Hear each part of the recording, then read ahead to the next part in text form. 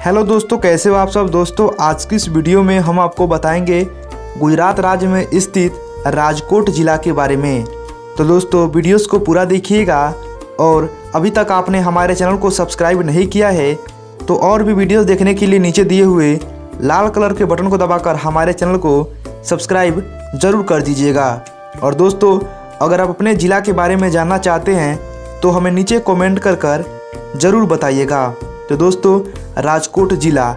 यह ज़िला भारत देश के गुजरात राज्य में स्थित गुजरात के 33 जिलों में से एक राजकोट ज़िला के नाम से जाना जाता है। राजकोट ज़िला भारत देश के उत्तर पूर्व दिशा की ओर बसा हुआ है, जिस वजह से इस ज़िले की सीमा गुजरात के बड़े बड़े ज़िलों से मिलती है। राजकोट ज़िला के पड़ोसी ज़िले का नाम मोरबी ज़िला जामनगर ज़िला जूनागढ़ ज़िला बोटाडीला ज़िला सुरेंद्रनगर ज़िला अमरेली ज़िला है।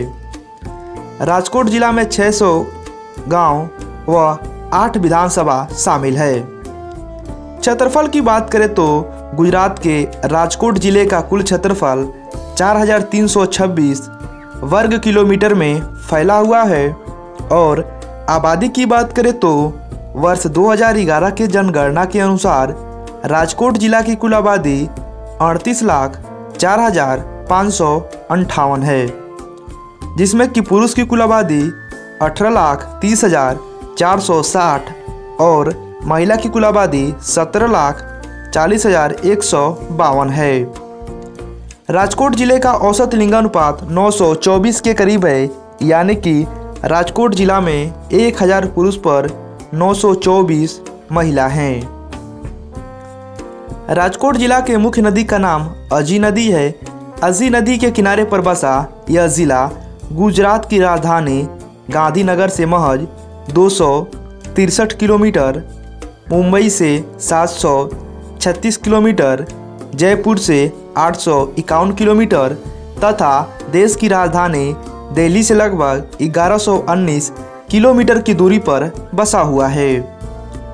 राजकोट का वाहन पंजीकरण संख्या जी जे ज़ीरो तीन है।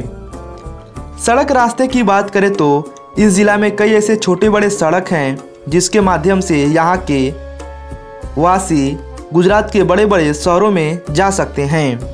वैसे इस ज़िला के माध्यम से नेशनल हाईवे संख्या आठ और नेशनल हाईवे संख्या आठ बी गुजरती है, यानी कि नेशनल हाईवे संख्या आठ, ए और आठ बी दोनों गुजरती है।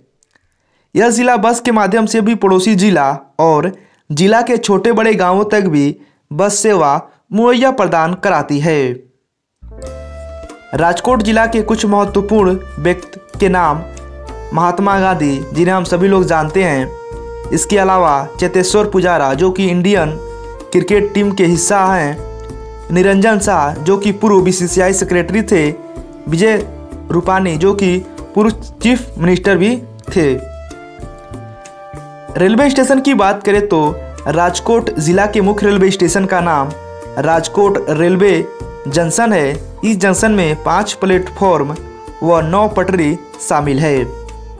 और इसका station code R J T है। और इसकी स्थापना 1890 में हुई थी। Rajkot junction, western railway zone के राजकोट डिवीज़न के ही अंतर्गत आता है। शिक्षा की बात करें तो राजकोट ज़िला में कई ऐसे छोटे बड़े स्कूल व कॉलेज हैं, जिसके माध्यम से यहाँ के बच्चे अच्छी तरह से शिक्षा प्राप्त कर सकते हैं। वैसे, इस ज़िले की साक्षरता दर बयासी प्रतिशत है, यानी कि यहाँ की आबादी के अनुसार बियासी प्रतिशत लोग पढ़े लिखे हैं, जिसमें कि पुरुष और महिला दोनों शामिल है। इस ज़िले के कुछ महत्वपूर्ण स्कूल व कॉलेज के नाम इस प्रकार हैं। Saurashtra university, T N Rao college, Harivandana college, Atmiya university PD महाविद्यालय, V V D engineering college, the Rajkumar college sunshine college, ये सभी इसी जिला में ही मौजूद हैं। अस्पताल की बात करें तो राजकोट जिला में कई ऐसे सरकारी अस्पताल भी शामिल है। इसके अलावा यहाँ पर कई प्राइवेट अस्पताल भी शुमार हैं। इन अस्पतालों में शुमार church hospital, Sarthak hospital, government civil hospital, Gokul hospital, Shri Giriraj hospital, Pragati hospital, Shri Jalaram hospital, Satnam hospital, ये सभी शामिल है। जो कि यहाँ के लोगों को स्वस्थ रहने में अपना योगदान देते हैं।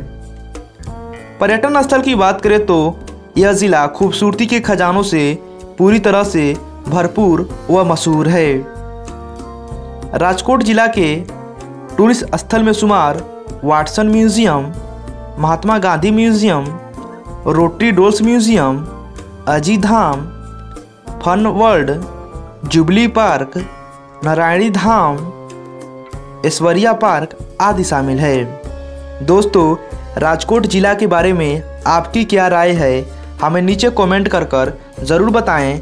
वीडियो अच्छा लगा हो तो वीडियो को लाइक करें, अपने दोस्तों के साथ शेयर करें और चैनल पे पहली बार आएँ तो चैनल को सब्सक्राइब कर कर बेल आइकन को प्रेस ज़रूर कर दें ताकि इसी तरह की वीडियो आपको मिलती रहे।